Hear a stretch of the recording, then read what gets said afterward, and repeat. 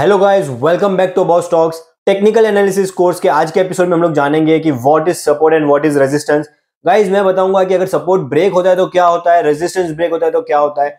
Breakout पे हमें कैसे ट्रेड करना चाहिए एंड फेक ब्रेकआउट से कैसे बचना चाहिए। और लास्ट में ये भी बताऊँगा कि जब रेजिस्टेंस ब्रेक होता है, तब वही लेवल वापस से सपोर्ट कैसे बन जाता है।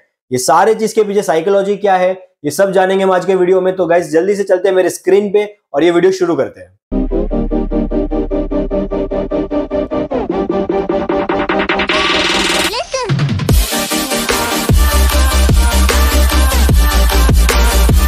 हेलो गाइस सो आज के एपिसोड में हम लोग जानेंगे what is support and what is resistance तो सबसे पहले देखते हैं कि सपोर्ट क्या है। सपोर्ट एक ऐसा प्राइस पॉइंट है या फिर ऐसा एक जोन है जो करंट मार्केट प्राइस के नीचे है और जो दर्शाता है कि यहाँ पे एक बहुत अच्छा बाइंग सपोर्ट है या फिर बाइंग इंटरेस्ट है।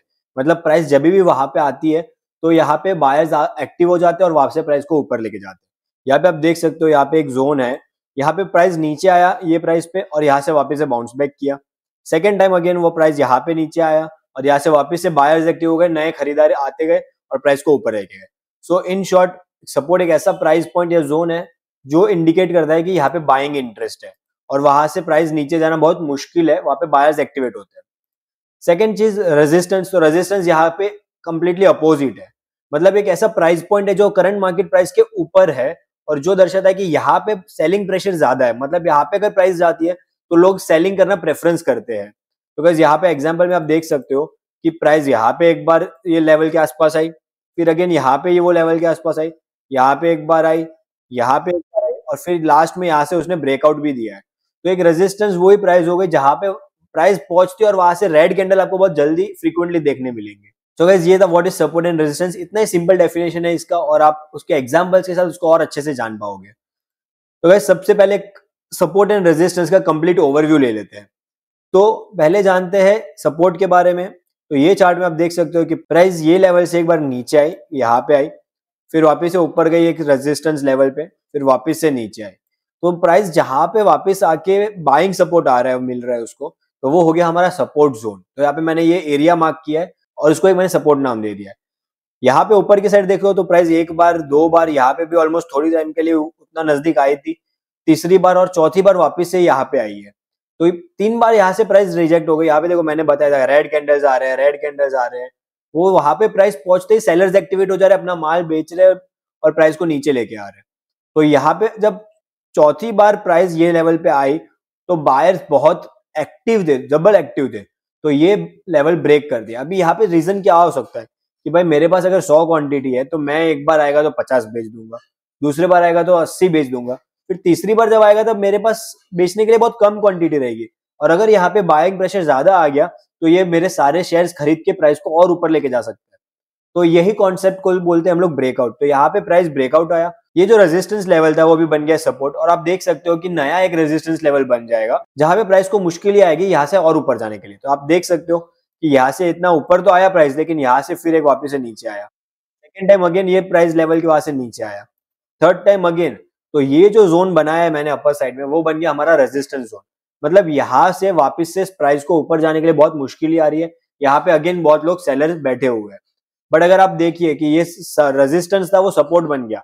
इधर यहाँ से ऊपर आ गया, इधर इधर टच करके वापस बाउंस बैक किया, इधर टच करके वापस ऊपर गया और इधर ही प्राइस इसके नीचे जा ही नहीं पा रहा है। सो so ये हो गया हमारा सपोर्ट ये हो गया हमारा रेजिस्टेंस तो आई थिंक आपको कंप्लीट ओवरव्यू मिल गया रहेगा।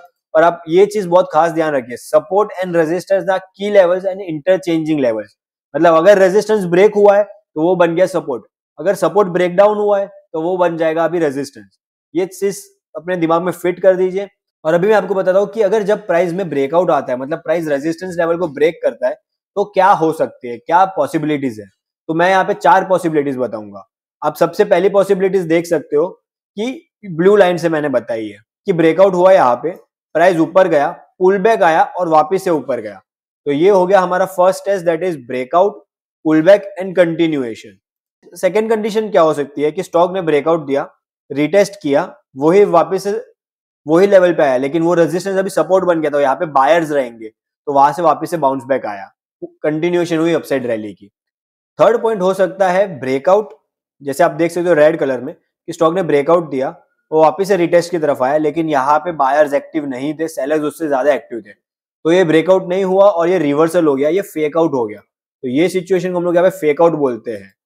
And last and final situation है कि स्टॉक ने अपने रेजिस्टेंस जोन से डायरेक्ट ही रिवर्सल दे दिया।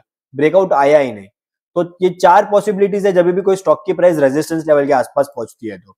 मैं अभी आपको ये चारों चीज़ के एक एग्ज़ाम्पल बताऊँगा। तो ये है फ़र्स्ट एग्ज़ाम्पल हमारा ब्रेकआउट पुल बैक और कंटिन्यूएशन का। ये स्टॉक ने रेजिस्टेंस और सपोर्ट के बीच में घूम रहा था, फिर यहाँ पे एट दिस प्राइस उसने ब्रेकआउट दिया। तो यहाँ पे ब्रेकआउट देके स्टॉक तो ऊपर गया बट सेलर आएँगे ना, कुछ लोग तो अपना प्रॉफिट बुकिंग करेंगे। तो यहाँ से एक पुल बैक आया, फिर वापस से कंटिन्यूएशन आया, वापस से थोड़ा पुल बैक और वापस से कंटिन्यूएशन तो ऐसे करके हायर हाइज बना के ये एक बहुत अच्छा रैली दे सकती है। तो ये हुआ हमारा फ़र्स्ट कंडीशन ये एक अच्छा है, लेकिन हर बार ऐसा मिले, वो ज़रूरी नहीं है। बट सबसे बेस्ट कंडीशन है ये वाली। स्टॉक ने दिया ब्रेकआउट यहाँ पे आप देख सकते हो ये लेवल पे कि स्टॉक ने ब्रेकआउट दिया। स्टॉक की प्राइस गई ऊपर। स्टॉक ने रिटेस्ट किया। यहाँ पे वापस से रेजिस्टेंस के पास आया। तो अगर ये रेजिस्टेंस था, वो अभी यहाँ पे बन गया है सपोर्ट करेक्ट आपने सही गेस किया। तो ये सपोर्ट बन गया, यहाँ पे बायर्स है और ये सपोर्ट बायर्स वापस से उसके प्राइस को ऊपर की तरफ़ लेके गए। तो ये था हमारा second condition breakout retest and continuation ये सबसे आइडियल कंडीशन है। अगर आपको कोई भी स्टॉक ब्रेकआउट हो और वापस से उसके रिटेस्ट लेवल पे आसपास मिले तो आपको ज़रूर से बाय करना चाहिए। यहाँ पे आपका स्टॉप लॉस होगा ये सपोर्ट लेवल के थोड़ा नीचे। मतलब आपको बहुत ही कम रिस्क रहेगा और बहुत ही बड़ा रिवॉर्ड रहेगा आपको। तो ये था हमारा सेकेंड कंडीशन थर्ड कंडीशन होता है कि ब्रेकआउट हुआ रिटेस्ट किया बट वो फेल हो गया और वापस से प्राइस आ गए नीचे। तो ये आप देख सकते हो, ये जो रेजिस्टेंस था, यहाँ पे रेजिस्ट हुआ, यहाँ पे रेजिस्ट हुआ बट यहाँ पे उसने ब्रेकआउट दिया। तो ब्रेकआउट देने के बाद प्राइस तो ऊपर गई, लेकिन रीटेस्ट किया स्टॉक की प्राइस ने बट रीटेस्ट करके वो वापस से बाउंस बैक नहीं कर पाई। यहाँ पे बायर्स कच्चे पड़े और प्राइस को वापस से नीचे लेके आ गए। तो ये हुआ हमारा फेल टेस्ट तो हमें ध्यान रखना है, यहाँ पे ये चीज़ में हम लोग को देखना है कि यहाँ पे वॉल्यूम का क्या रोल है। हम लोग ने लास्ट एपिसोड में देखा था कि वॉल्यूम एनालिसिस कैसे करते हैं। तो अगर आपको अभी भी कुछ भी डाउट हो तो पहले जाइए वो वीडियो पे और वापस से वॉल्यूम एनालिसिस सीख लीजिए और फिर यहाँ पे देखिए तो आपको यहाँ पे पता चल जाएगा कि ये फेक आउट है, यहाँ पे हमें ट्रेड नहीं करना चाहिए था। फोर्थ एंड फाइनल कंडीशन है कि स्टॉक डायरेक्ट रिवर्सल ही हो जाए। यहाँ पे जैसे यहाँ पे रेजिस्टेंस आया, यहाँ पे आया, यहाँ पे आया सेम वैसे यहाँ पे रेजिस्टेंस ने फेस किया बायर्स मज़बूत नहीं हो पाए और प्राइस को वापस से नीचे लेके गए। और वेट करेंगे हम कि नेक्स्ट टाइम वापस से अगर स्टॉक की प्राइस ऊपर जाए तो हम यहाँ पे वापस से एंट्री कर सकते हैं और ब्रेकआउट वाला फ़ायदा ले सकते हैं। सो गाइज़ ये थे चार मेन पॉसिबल ऑप्शंस के ब्रेकआउट के टाइम क्या हो सकता है स्टॉक रेजिस्टेंस के पास आए तो क्या हो सकता है?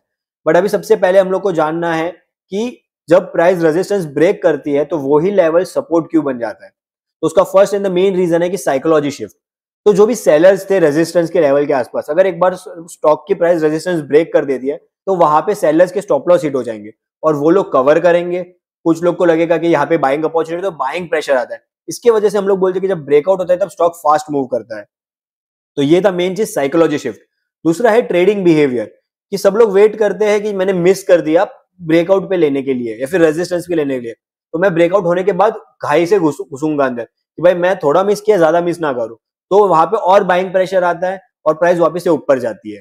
थर्ड है profit taking and re entries तो मैंने जैसे बताया कि पुल बैक आता है रीटेस्ट आता है तो वो होता है प्रॉफिट टेकिंग तो हमें वेट करना है कि जो प्रॉफिट टेकिंग आए मतलब वीक हैंड्स है जो मार्केट के अंदर, वो अपना प्रॉफिट बुक करे। लेकिन स्ट्रॉन्ग हैंड्स लंबे टाइम तक रहते हैं।